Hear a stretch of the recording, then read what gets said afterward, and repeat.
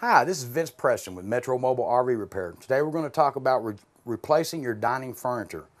First thing you want to do is be careful to make sure that your, di your dining area is not part of the structure that holds your RV together. A lot of times these things have holding tanks, water pumps, hot water heaters, central heat units are built under them and the furniture is built over it.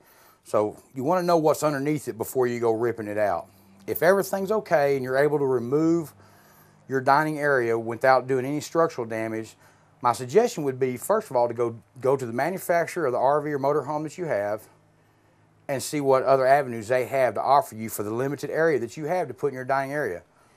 If, you've, if you're just going to put a table in, I would suggest putting fasteners on the legs of the table so that the table doesn't move in transport. And also, you don't ever want to put chairs in your RV that have rollers on them it doesn't work out well in transport and it tears up a lot of stuff. So just be careful with the uh, aftermarket application that you decide you're going to go with and have it installed and make sure that, that it's fastened down so that it doesn't move in transport. And thank you.